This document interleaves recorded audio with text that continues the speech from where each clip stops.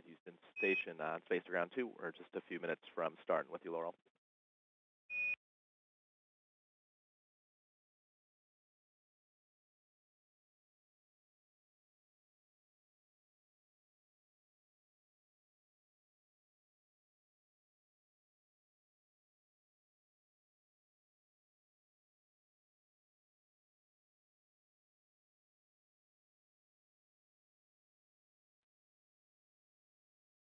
And Loral Houston on Space to Ground 2. Uh, next voice you hear will be uh, Governor Abbott of Texas, who's uh, here in Mission Control with us visiting.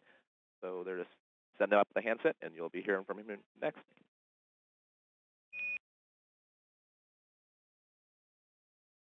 Excellent. Thanks, Roger.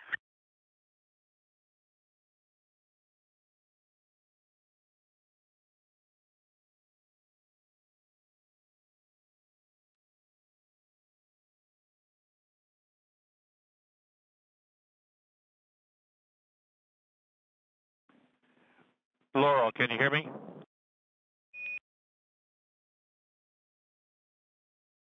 I have you loud and clear. How me? Uh, Governor Abbott coming to you from the great state of Texas. Welcome, Governor Abbott, to the International Space Station, 250 miles above Earth's surface. I want you to know how proud we are that we have a, a native Texan from the Houston area uh, that I'm talking to as you uh, circle around the entire globe today. Uh, thank you. Uh, it's an honor to get to represent Houston and the state of Texas up here on ISS. We're, we are proud of all you're doing. Beautiful passes over Houston this week. Say it again, please.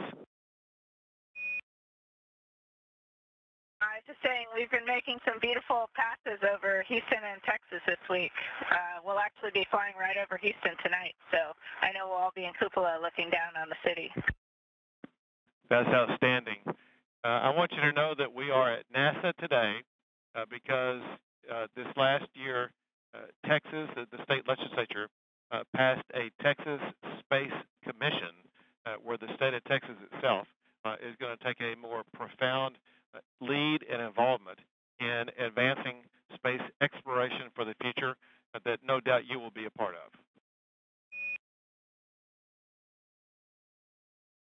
That's incredible news, and I'm proud to be a get to be a part of that. Uh, we heard about it earlier today, and um, I think that's really exciting. So uh, while I'm talking to you, can you do any fancy moves? Of course, it's one of our favorite things to do up here.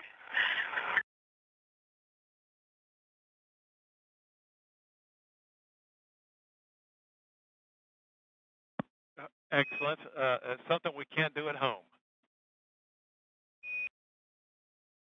No. Um, getting to do all the research and science that we do up here is Um, obviously, the International Space Station is an incredible platform for research, um, but adding the component of microgravity makes it both challenging and also a whole lot of fun.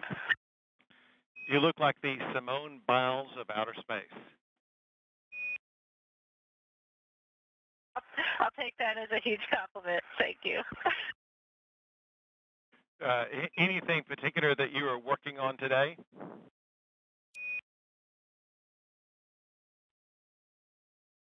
Well, this is a great week up here. We just got um, SpaceX Cargo Dragon 30 up here on Saturday, so it docked Saturday, and so we've been busy unpacking the vehicle and getting started on all sorts of new science, scientific research.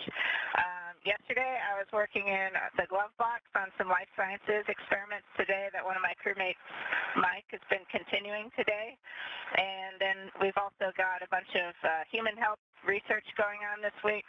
Um, and then I'm actually starting to get ready to come back. I'll be back uh, in two weeks from today. That's outstanding. Well, we are very, very proud of all that you are doing. Very proud of the way that you represent the state of Texas. Very proud of the NASA mission. And we wish you a very safe return. Thank you so much. And thank you and the state of Texas for all the support that you've shown human spaceflight.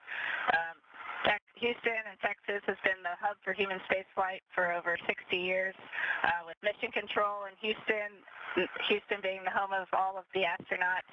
Um, it's just an honor to be, get to be a part of it all, um, especially since it's my hometown.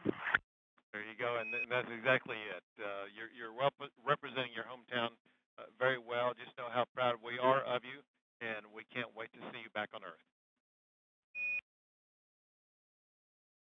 you.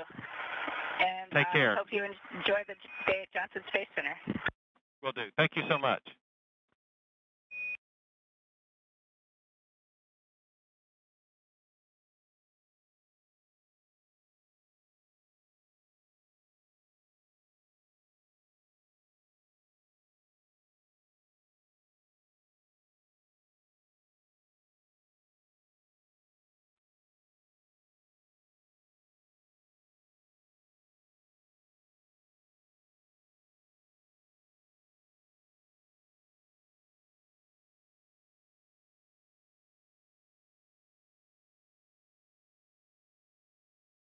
And Station Houston on 2, you can resume normal comms on Space Ground 2 as needed.